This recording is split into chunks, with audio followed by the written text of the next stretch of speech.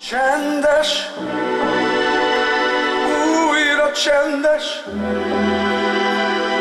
elzúgtak forradalmai.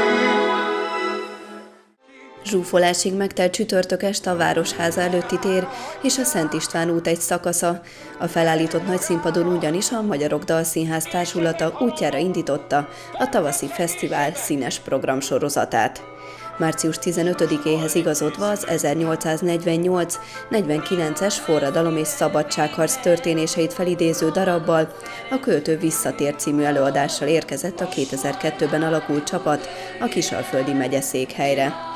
A történet 1860-ban játszódott egy magyarországi börtönben, ahol az ott raboskodó vándorszínészek elevenítették fel a magyarság történetének e jeles fejezetét.